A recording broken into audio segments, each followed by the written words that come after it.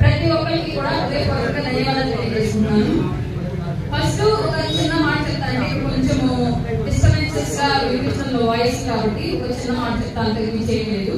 తర్వాత ఎలా నేను మళ్ళీ ఆంజనేయ రంగంలో వెళ్ళిపోవాలి. దెయ్యాలు బాగుంటుంది రంగంలో ప్రస్తుతం మా బట్టి మా బట్టి రాష్ట్రంలో దెయ్యం ఒకటే అవుతాను దూరం ఉంటుంది దానిలో వెళ్తాను ఫస్ట్ మాట్లాడే విషయం చూస్తే ఈ రోజు అధ్యక్షులు వారు మాట్లాడిన ప్రస్తుతం రాష్ట్ర ఇరు సంబంధించిన అంశాల గురించి చర్చించుకున్నాం మనందరము నలభై ఏళ్ళ పార్టీ టీడీపీ మనం ఒప్పుకోవాలి అప్పటి నుంచి అధికార అధికారికంగా వాడు కొంత స్థానికంగా సామాజిక పరంగా ఆర్థికంగా నాయకత్వ పరంగా బలపడిన వాడు ఈ విషయం మనం ఒప్పుకోవాలి కానీ ఒక తుఫాను అన్ని పంటల్ని ఉక్కిరిబిక్కిరి చేసినట్లు ఒక తుఫాను సుభిక్షంగా ఉన్న ఓడని బీడు చేసినట్లు జగన్ అనే ఒక తుఫాను ఎంత సీనియర్ నాయకులైనా సరే ఇవాళ నడి రోడ్డు కూర్చున్నట్టు. ఈ విషయం అందరూ ఒప్పుకోవాలి. అలాంటి నడి రోడ్డు మీద కూర్చున్న పరిస్థితుల్లో నేను ఒక వ్యక్తి ఉన్నాను మనం చేయి చేయి కలిపి ఈ రాష్ట్రానికి చేయూతనిద్దామని చెప్పేసి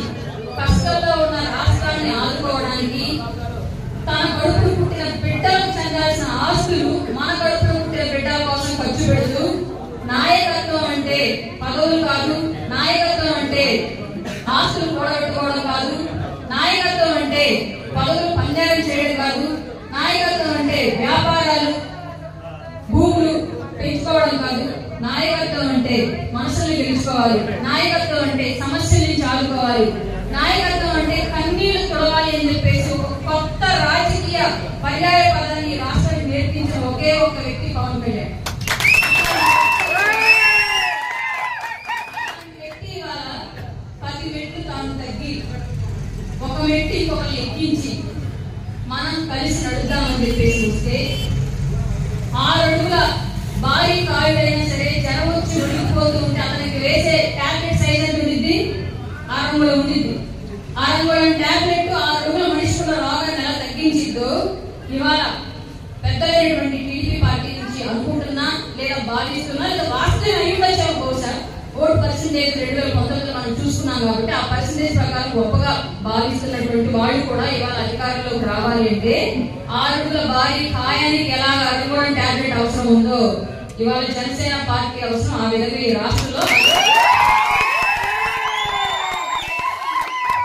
విషయాన్ని పెద్దలైనటువంటి గమనించి నాయకులు ఎక్కడైనా కొన్ని స్వార్థాలకు వెళ్ళి తలగొచ్చు ఈ విషయం క్లియర్ చెప్తాను ఎందుకంటే ఈ విషయాన్ని నేను తప్ప మా పార్టీ నుంచి ఇంకెవరు ధైర్యం చేసి మాట్లాడలేదు.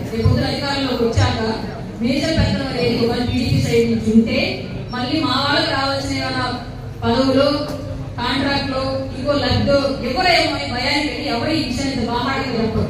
అన్నింటికి పవన్ కళ్యాణ్ గారు వెనకాల ల్యాండ్ మైన్ లాగా ఉన్న వాళ్ళు కొంతమంది మాత్రం ఇట్లాంటి మాట్లాడగలరు అడిగేస్తే పేరు పెట్టే ఉంటారు. అట్లాంటి వాళ్ళు మాత్రమే మాట్లాడగలరు. ఎందుకే నేను మాట్లాడుతున్నాను ఈ విషయాన్ని కూడా.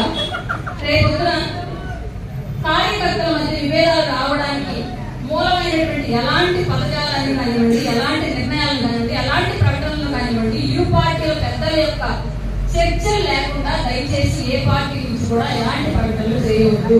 చేస్తే ఇవాళ అధ్యక్షుడు డైరెక్ట్గా చెప్పారు రెండుకి రెండు నాలుగు నాలుగు ఆరుకు ఆరు అట్లాంటి పరిస్థితి దానివల్ల దారితీసే విషయం ఏంటంటే ఈ రాష్ట్రాన్ని పట్టి పీడిస్తున్న ప్రజా కంటకుడైన జగన్ రెడ్డి మరొకసారి అధికారంలోకి రావడానికి మీరే బాటలు వేసిన వాడు అవుతారు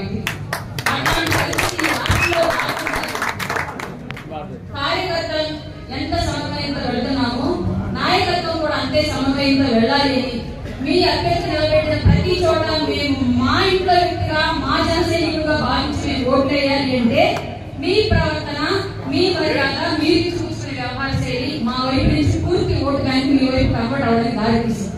అలాగే మా అభ్యర్థి నిలబెట్టిన చోట కూడా మిమ్మల్ని మేము గౌరవించుకునే తీరు మీకు ఇచ్చే మర్యాద మీకు ఇచ్చే ప్రయారిటీ మీ వైపు నుంచి మాకు అవకాశము అధికారులు తగ్గేలాగా చేసింది ఈ విషయం ఇరు పార్టీలో ఉన్న నాయకత్వానికి కార్యకర్తలకి అర్థమైతే జగన్ అనే వ్యక్తి మన ముందు. చిన్న ఏకతో సమానం.